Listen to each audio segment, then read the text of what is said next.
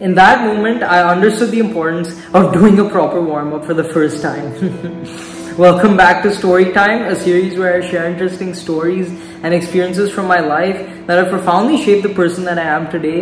And in today's episode, I'm going to be sharing the story of a tennis match from my first ever tennis tournament, which taught me the importance of doing a warm up. So stay tuned, and I hope you enjoy this video. Well, this tennis match when I was about 10 or 11 yeah it was when i was 11 years old. I was playing my first ever tennis tournament and i was really excited. I didn't know what to expect. I had obviously practiced but like I, I just didn't know what to expect. I was just going there and i wanted to enjoy myself. So i went into the tennis tournament with that mindset. My dad and my grandpa uh, my dadaji he um, came to the tournament as well. And you know we we really had no expectations. We didn't even know what tennis tournaments were like. We were just like you know let's go there let's see what happens. So we went to that tennis tournament and my first match was um, scheduled around 11 o'clock or something. We just had to wait there. So we were just chilling talking. Um, obviously at that time i didn't know the importance of like fit I was I was a fat kid at that time during my first ever tennis tournament. So um, you know I didn't have this awareness that you know warm-ups are very important. You know I didn't have the awareness about the right nutrition strategy hydration all of these things.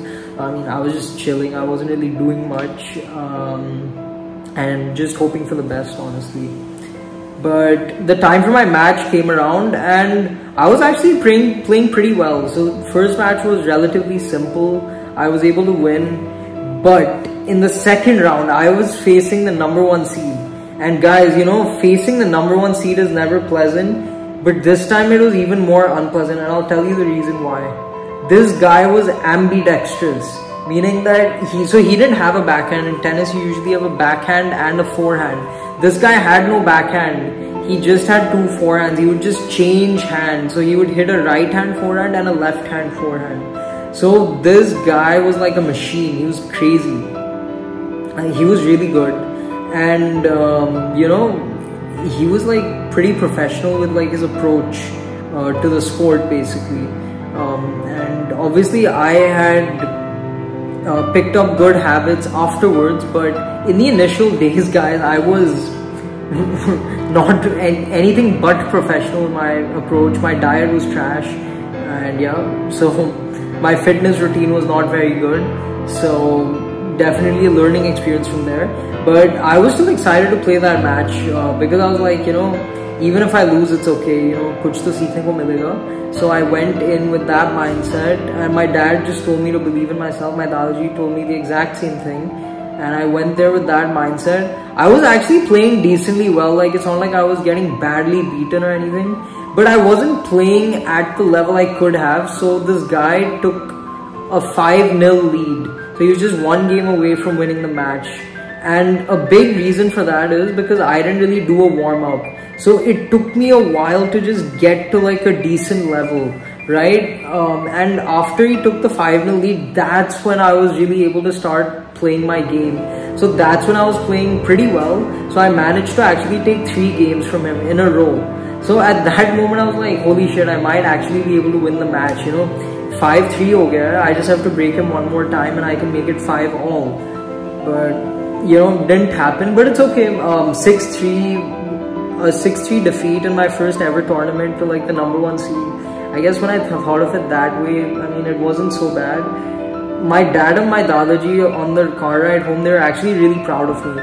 Though it was in that moment that I understood that acha warm up bhi karna hota. You know, it's actually very important. So that's something I changed. And just a few months later, I've made a video about uh, this on the channel, which I'll link, and I'm going to be talking about in future videos also there was one match which happened, I think two, three months later, which I lost, but I could have easily won had my fitness been better. So that was the real catalyst for me to transform my fitness and just, you know, let all the junk food go and, you know, adopt a strong fitness routine. So that was the catalyst for my fitness transformation, and that allowed me to take my game to the next level. So, um, you know, it kind of came full circle because the next year, during the same tournament, I ended up winning it. So that was a pretty good feeling. But all that to say, my dad and my daji, they were both saying, you know, after the match, they were just like, you know, you can beat this kid. Like you have that potential inside you to beat this kid and to win this tournament. So I went in with that belief and I'm so happy that I lost that match two or three months later because that motivated me to do something about my fitness because it wasn't where it needed to be. My movement was terrible and a big reason for that is because I was a fat kid at that time. Um, so yeah, I guess everything in life happens for a reason. I'm very grateful for this match. I learned a lot of lessons and honestly I feel sports is so much more than just physical activity and now it's also made me value my health a lot. They've taught, it's taught me the importance of health and it's taught me the importance of just determination and never giving up. Because if you don't give up, I feel you eventually win. Because everyone else will just give up around you. So I feel like the one who doesn't give up is the one who wins in the end. So just keep at it. I feel like sports, yeah, I mean, obviously it is about your physical health, it is about getting healthier and all of that. But more than that, I feel like sports is all about determination, work ethic, and never giving up. I feel like if you don't give up, if you don't fold, eventually you win because people give up after a while. But if you don't give up, you know, you'll win.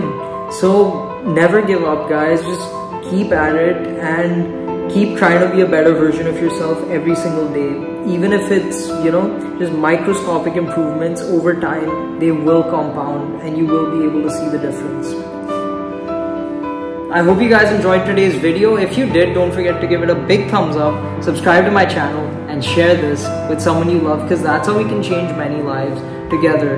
Thank you guys for watching, and I'll see you in the next video. Namaste.